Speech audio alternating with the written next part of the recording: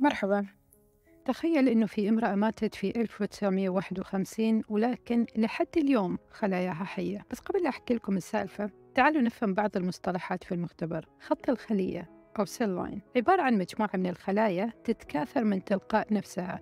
خارج الكائن الحي أو في مختبر أبحاث. وفي نوعين إما خطوط خلايا خالدة يعني تتكاثر باستمرار أو محدودة في العمر. يعني تتكاثر الخلية من خلال عدد معين من الانقسامات خلال دورة حياتها وبعدها تموت. طيب الخلايا البشرية أي نوع؟ الخلايا البشرية الطبيعية لها عمر محدود لأن عندها ضوابط داخلية وإشارات تنظم عدد الانقسامات اللي تخضع لها كل خلية. يعني تقريبا تمر بعملية انقسام حوالي 50 مرة قبل ما تدمر نفسها عشان ما يحدث أخطاء جينية. في المقابل لما الخلية تتجاهل هذه الإشارات تحدث فيها أخطاء جينية. تخلي الخلية تموت أو تتوقف عن النمو أو تنقسم إلى أجل غير مسمى وبالتالي تغير من خاصية الخلية وطبيعتها. وهذه أحد الأسباب اللي يخليها تتكاثر بشكل أسرع من الخلايا العادية. مثال على ذلك الخلايا السرطانية.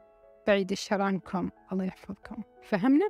تمام. قبل أوائل الخمسينيات من القرن الماضي حاول العلماء زراعة خلايا بشرية تستمر في التكاثر في المختبر ليش؟ لأن خاصية التكاثر والاستمرارية تمكن الباحثين من استخدام هذا الخلايا كنموذج لدراسة الأمراض وتطبيق الأبحاث عليها بدون ما يحتاجوا يجيبوا مريض ويجربوا عليه لكنهم فشلوا ليش؟ لأن لابد من وجود معايير معينة للخلايا عشان يضمن العلماء فعاليتها وبالتالي يضمنوا مصداقية البحث مثلا الخلايا لازم تكون متجانسة أو متشابهة في جميع التجارب ولازم في كل مرة يعيدوا التجربة ويستخدموا نفس الخلية يضمنوا نفس النتيجة وأيضا لابد أن الخلية تكون قادرة على النمو إلى ما لا نهاية لكن الخلايا اللي زرعوها ذاك الوقت ما قدرت تحافظ على نفسها أو تتكاثر لأكثر من أسابيع قبل لا تبتدي تموت ليش؟ لأنه في ذلك الوقت عملية زراعة الخلايا كانت تختلف من مختبر لمختبر ليش؟ عشان نضمن بقاء الخلية على قيد الحياة لابد من وجوده في وسط غذائي وهو عبارة عن محلول فيه مواد غذائية أساسية تغذي الخلايا. لكن في ذلك الوقت ما كان في وسائط غذائية معتمدة أو أجهزة مختبرية ذات معايير موحدة. يعني العلماء صنعوا وسائطهم الغذائية الخاصة في المختبر. كل واحد طبخ طبخته بمقاديره بالإضافة إلى أنهم ما كانوا يستخدموا تقنيات معقمة عشان يتفادوا أي تلوث خارجي. في بداية الخمسينيات كان في عالم مختبر اسمه جورج جاي. يشتغل في مستشفى جونز هوبكنز بولاية ميرلاند الأمريكية. قضى 30 سنة من عمره. يبحث في تطوير خط خلايا بشرية خالدة. لحد سنة 1951 لما شابة أمريكية من أصل أفريقي اسمها هنريتا لاكس دخلت المستشفى بسبب إصابتها بسرطان عنق الرحم.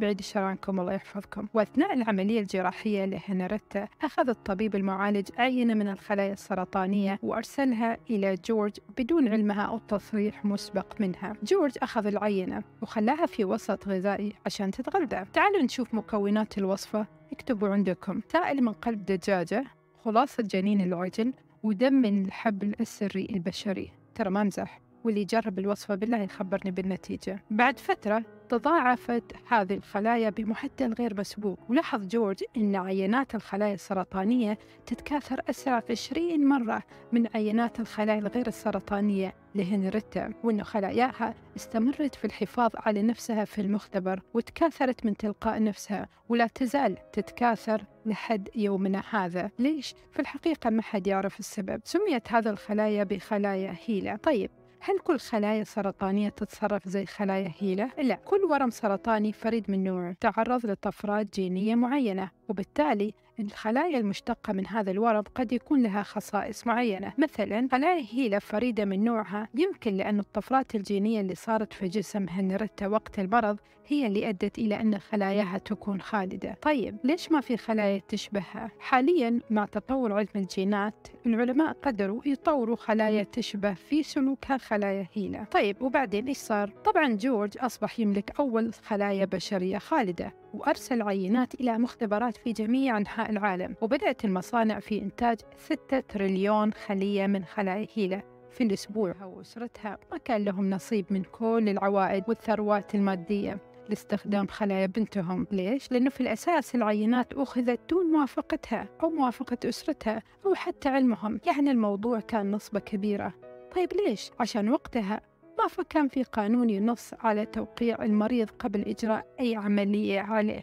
وعائلتها ما عرفت بموضوع الخلايا إلا بعد عشرين سنة وبالصدفة لما الباحثين طلبوا منهم عينات دم لفحص جيناتهم ومنها أثيرت القضية وصارت ضجة في الوسط العلمي وأدى إلى خلق قوانين جديدة لحماية المريض وحفظ حقوقه.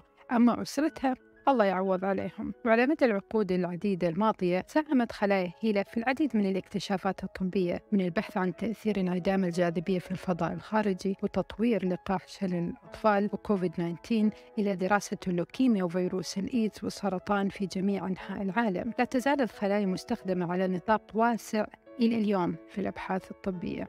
هنريتا لاكس أم لخمسة أطفال. توفيت في الثلاثين من عمرها. ولا تزال بعد وفاتها تساهم مش بس بخلاياها لكن أيضا من خلال قضيتها اللي غيرت قوانين النظام الصحي والاعتبارات الأخلاقية اللي أعطت المريض الأولوية والخصوصية والاحترام.